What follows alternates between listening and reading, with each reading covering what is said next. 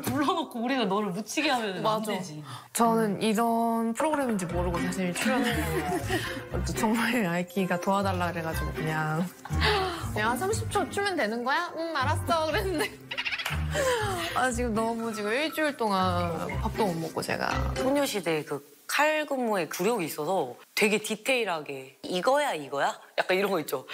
마지막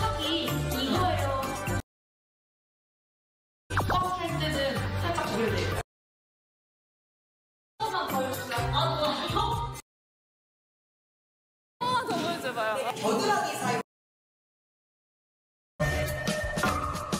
이거 그게 아니고 잠시만요. 어, 정말 100년 만에 나타난 것 같습니다. 트럼프 천재 만났습니다. 박수